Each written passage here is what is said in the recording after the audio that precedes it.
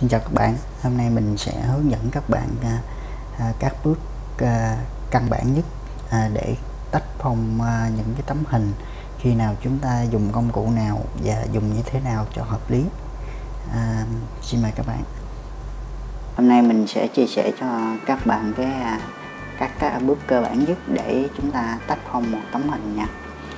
Rồi ở đây thì à, tôi sẽ chọn ba trường hợp trường hợp thứ nhất á, mình sẽ dùng cái công cụ này để công cụ lesson tool để chúng ta có thể ờ, chọn ờ, cái công cụ mà Magic lesson tool công cụ này á, nó sẽ hít ờ, cái vật thể.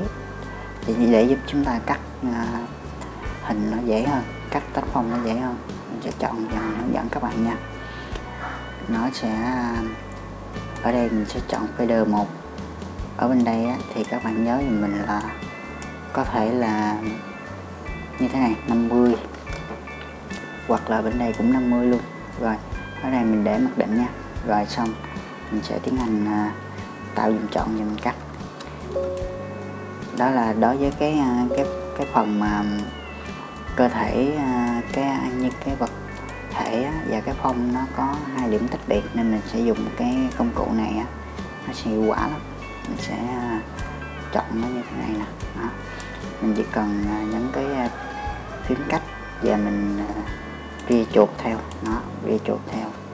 Ria chuột dòng theo cái đường biên của của cái file ảnh nè là nó sẽ tự động nó hít vào. Đó.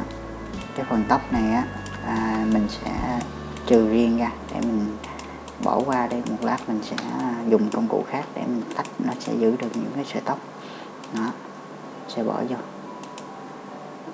Nó, mình sẽ rê chuột tiếp tục. Và mình nhấn cái à, phím phím cách. Nó sẽ hiện cái dấu bàn tay ra. Phím cách, nó hiện dấu bàn tay. Nó, công cụ này nó sẽ tự à, hít sát viền cho mình luôn. Đó, thấy không? Rất là nhanh. Đây là cái à, cách mà đơn giản nhất để chúng ta có thể tách từ Photoshop ờ, bản thấp nhất tới bản ờ, cao nhất đều có thể ờ, làm tốt. Đó. Xong á, thì mình sẽ chọn fader. Ở trên mình đã chọn fader một rồi nên mình cũng không cần chọn nữa cũng được. Hoặc là nếu các bạn cẩn thận á, các bạn chọn thêm fader cho mình đó là 1.5 rồi mình sẽ nhấn Ctrl G đó. Đó mình đã tách phong xong. Đó các bạn thấy rất là đơn giản và nhanh rồi mình sẽ hướng dẫn các bạn cái cách để mà mình tách tóc, mình sẽ lót một cái nền xanh để các bạn dễ nhìn nha. Mình sẽ tách tóc. Mình cũng dùng cái à, công cụ này luôn. Mình sẽ chọn cái phần tóc riêng để mình tách. Mình nó, mình cắt từ từ. Các bạn nhớ đừng có để phạm vô cái phần da thịt của à, bức ảnh nha. Nó sẽ bị uh, mất đó. Nó mình sẽ tắt tóc. Bằng cách là mình cắt sát đường biên như mình khoanh mình khoanh mình chọn cái màu trắng nè. Mình có fader rồi mình khỏi chọn lại cũng được.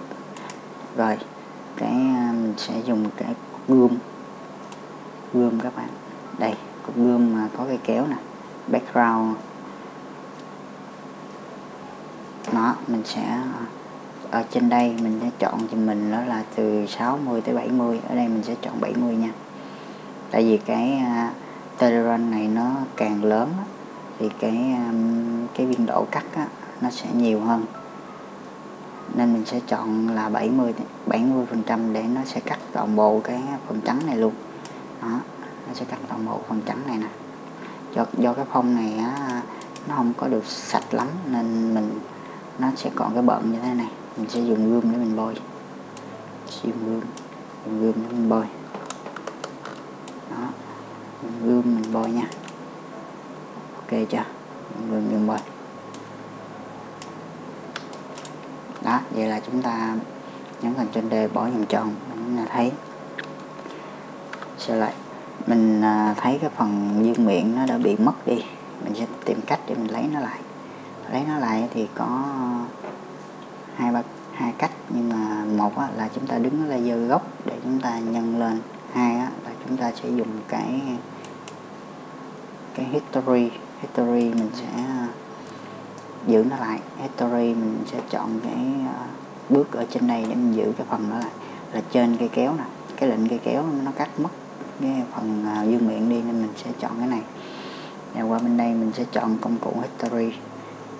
Mình sẽ bồi nó sẽ nó sẽ hiện lại nha mình sẽ chọn ở đây là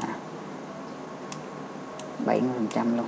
Mình sẽ bôi nó mình bôi thay vì mình chọn mình nhân lớp rau góc lên thì vẫn được nha.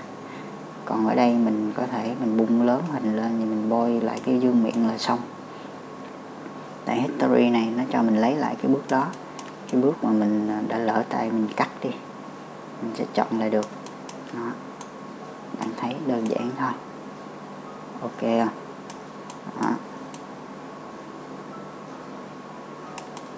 Rồi đó, vậy là chúng ta lấy được dưới cái dương miệng. Đó, cái cách cắt à, đơn giản thứ nhất mà rất là nhanh nha.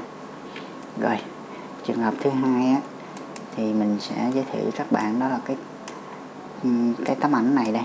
Cái à, giữa cái màu trắng của cái áo và cái phông á nó không có tách biệt màu nên mình sẽ rất là khó để dùng công cụ lúc nãy. Lesson tool nên mình sẽ bắt buộc mình sẽ dùng pen nha mình bên bên này thì được cái à, mình cắt nó sẽ sát đối tượng hơn. Nó, mình chủ động hơn. Mình chỉ việc đè chuột và mình rê chuột đi. Đó. Mình đè chuột tại một điểm như mình kéo nó thẳng thẳng theo cái đường à, biên của vật thể nè. Nó đường cong nè. Mình đè chuột thì mình kéo nha. Mình đè chuột, mình kéo theo. Mình kéo theo cái đường cong nè. Mình nhắm hướng đó mình bấm tại đó mình đè chuột thì mình kéo nó đi. Thì cái à, phần tóc cũng à, cắt cũng tương tự như à, lúc nãy. Mình sẽ chừa ra và mình cắt tóc sau. Nó cũng tương tự như vậy thôi. Tóc thì mình thấy dùng cái công cụ là à, cục gươm đó mình cắt mình sẽ giữ lại tóc hiệu quả hơn nha. Đó.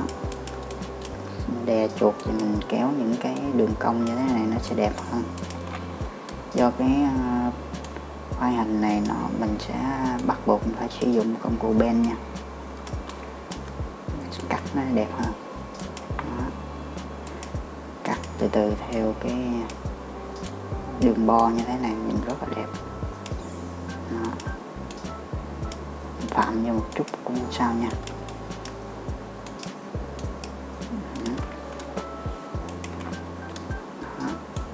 chúng ta cắt từ từ từ từ nó sẽ đẹp nha.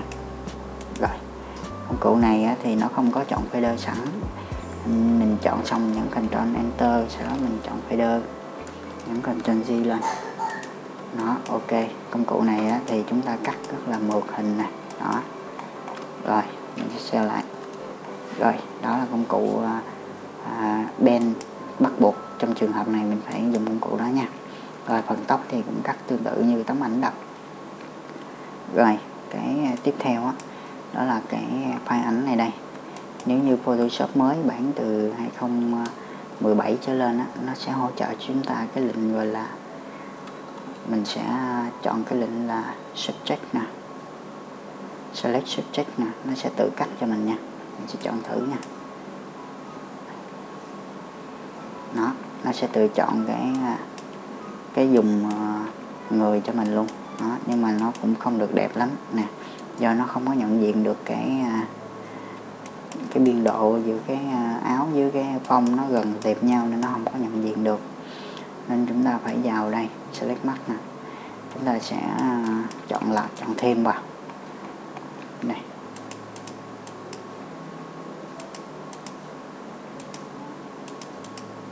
Đó. đây mình giảm mình giảm mờ á, nên cho nó hiện cái cái background phía sau lên mình coi nó thiếu cái phần gì thì mình mới cộng thêm vô. Photoshop mới thì nó sẽ hỗ trợ cho mình nha. Đây nó cũng có hỗ trợ đầy đủ đây nè. Đó. Mình có thể cộng thêm nè cộng thêm. Cộng thêm cái phần áo bị mất đi.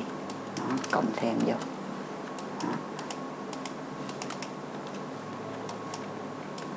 bên đây cũng thiếu nên mình sẽ cộng thêm vô cái này ừ, Photoshop mới nên nó sẽ có cái phần riêng để chúng ta làm. Nó tách thì nhanh nhưng mà cái à, lỗi xác suất của nó cũng à, tùy theo tấm ảnh thôi. Có thể là tấm ảnh à, nào mà giữa cái phong và cái cái phần áo của vật thể nó khác màu nó sẽ tách tốt hơn nha. Cái này còn cái phần tóc thì ở đây nó cũng hỗ trợ cái cái bớt để mình lấy lại cái tóc nè cứ vẽ như vậy là mình sẽ lấy lại mấy cái sợi tóc. Ừ. Đây cũng vậy muốn lấy lại dương miệng mình cũng vẽ vẽ theo vậy nè nó sẽ lấy lại nha. Cái phần bớt đó nó sẽ giữ lại tóc cho mình đó. Mình thấy là mình cứ ờ, lấy cái dấu cộng mình, mình quẹt những cái phần mà màu trắng đó, nó sẽ tự động nó mất luôn sẽ giữ lại tóc cho mình.